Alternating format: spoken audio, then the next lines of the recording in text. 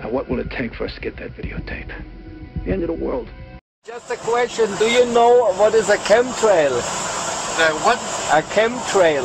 I do know what a chemtrail is. Yeah. And is it true? Uh, well, there's a big debate. Yeah. Are you filming me? Maybe. okay. No. I Uh, want to go on record with that. okay. No, but uh, do you believe it? I don't think no. Um, well, I don't have enough information that. Ah, okay. Yeah, because I saw a lot of videos on the internet, Uh, and uh, it really looks uh, believable.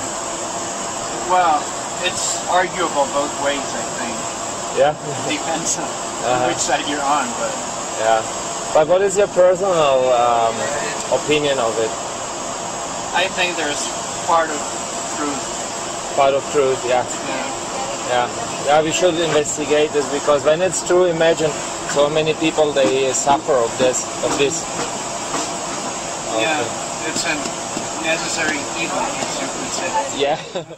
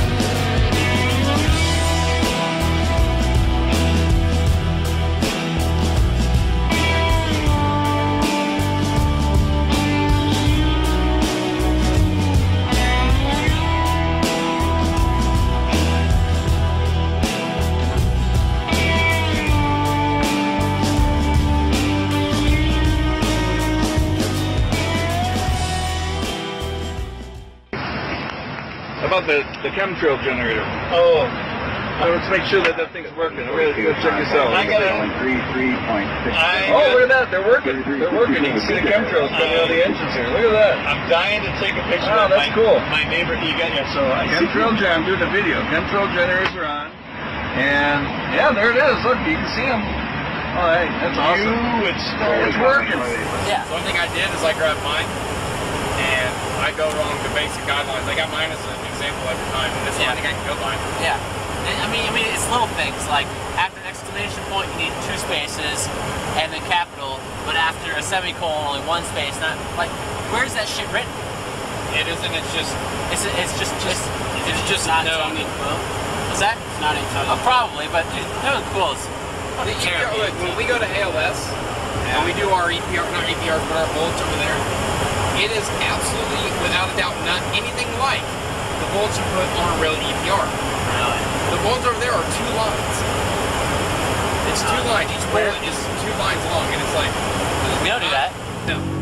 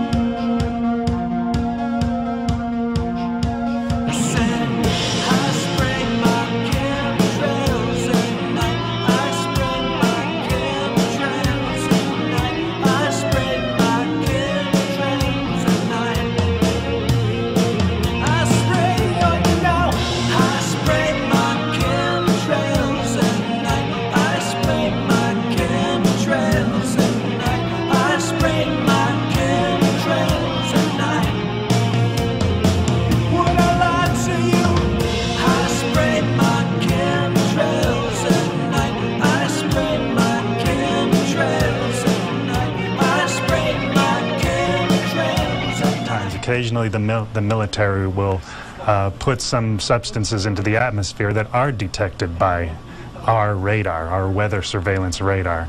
It's a substance that's called chaff. The chaffs do look similar to the oncoming storm system, but they're actually an indication of an aircraft. We replayed the radar images from 8:40 a.m. Turns out several of those chaffs or planes were near the San Diego and Baja areas. Depending on how low and how fast, the planes could have created that sonic boom. Let's talk about military chaff. You may or may not have heard of this. Now, chaff is something that the aircraft are equipped with. It, it's a spray that they put out in the atmosphere to confuse ground radars. It's a protection uh, to against, say, the radar-guided missiles. Okay, so when they're flying these test patterns, they'll chaff the sky, and it shows up on radars. Now, I was looking at my radar wondering, could it have been a flight pattern? Well, here's what happened. I called the National Weather Service, and something interesting here. They confirmed that this right here, this and this are not rain. That was not rain on our radar. So this is not rain. What is it? Could it have been chaff? Well, we may never know. But that uh, we've been dealing a lot with some military activity in terms of chaff anyway, and that's something that I experienced for the first time yesterday. That was a whole lot of fun, and that's where the military just basically dumps uh, some of the, the, the tiny particles of plastic or um, metal mylar into the atmosphere, and basically they do this when we do already have weather in the area because it's it's been around since as long as uh, radar has been around. Because that's the shot from yesterday's six o'clock show. What they do is try to confuse ground-based Doppler radar systems, and as Mark put it so kindly, ground-based meteorologists. And yes, ladies and gentlemen of the armed forces, it worked well. That's a shot of the mylar. That's a shot of the chaff, again, moving through the atmosphere yesterday. As you can see, a very distinctly different pattern from when a storm system would move through.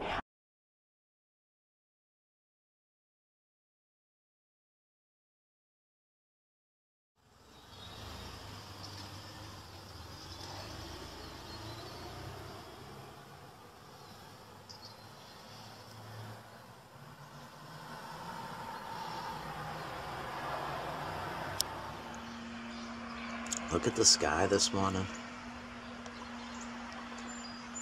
Just doesn't look real. It's crazy.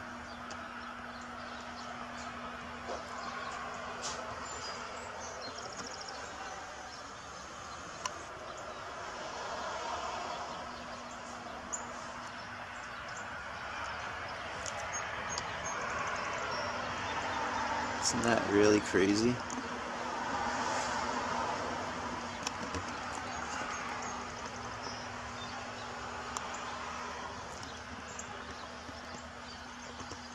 This on time lapse as well.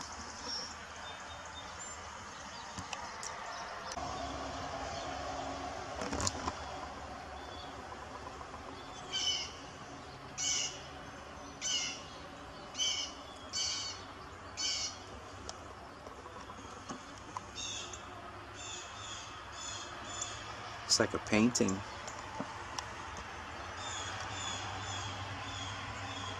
See how the different lines converging there?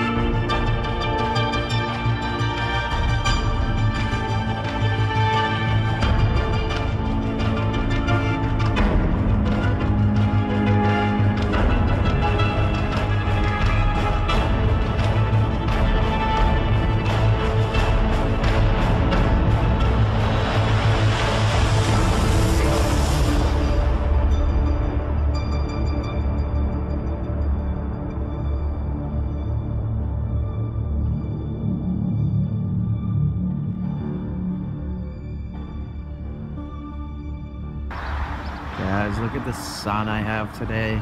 Tuesday, 220, 2018. Walpole, Mass. I mean, really? This is what we're looking at today? I mean, when you look up at the sun, you don't see this, it's just bright. But when you record it, it's just crazy.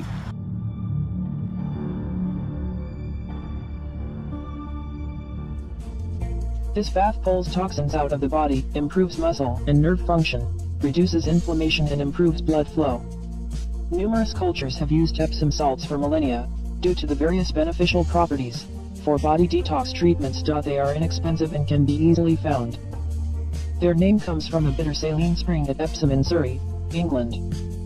This salt is different from others as it is a naturally occurring pure mineral compound of magnesium and sulfate, both of which offer potent health benefits and detox the entire organism.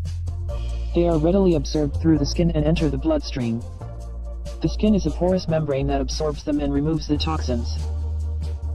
When added to bath water, these salts stimulate a process known as reverse osmosis, which eliminates salt and the dangerous toxins from the body, leaving space for the magnesium and sulfate to enter the system. Magnesium is extremely important for more than 325 enzymes, soothes inflammation, enhances the function of nerves and muscles, boosts blood flow and the oxygenation throughout the entire body. Sulfates are needed for healthy skin, nervous tissues, and joints. This mixture removes toxins and aids build key protein molecules in the brain tissue and joints. The use of regular Epsom salt baths helps in the case of muscle pain, athlete's foot, toenail fungus, gout, sprains, and bruises, treats chronic diseases and pain, alleviate inflammation, detoxify the body, and regulate the mineral and sulfur balance in the body. Before the use of these salts, pregnant women, people with cardiovascular diseases, those with open burns or wounds of the body, and dehydrated individuals should consult a natural health physician. This is how to take an Epsom salt bath. You should schedule yourself for 40 minutes, as the body needs 20 minutes to eliminate toxins, and 20 more to absorb the minerals in the bath water. In a bath filled with warm water, add the Epsom salts in the amounts as listed below. Children under 60 pounds, add 1 half cup of salts to a standard size bath. People between 60 to 100 pounds, add 1 cup of salts to a standard size bath. People between 100 to 150 pounds, add 1.5 cup of salt to a standard size bath. People between 150 to 200 pounds, Add 2 cups of salts to a standard size bath. For every 50 pounds larger, you should add 1 half cup of salt more. Additional tips. To boost the antioxidants benefits of the bath, add 1 half cup of olive oil, which is beneficial for the skin and contains polyphenols. Avoid soap since it will interfere with the detox process and the action of the minerals. Then, rest for 1 to 2 hours. In the case of arthritic joints, Make sure you stay active as much as possible to protect the joints from congestion.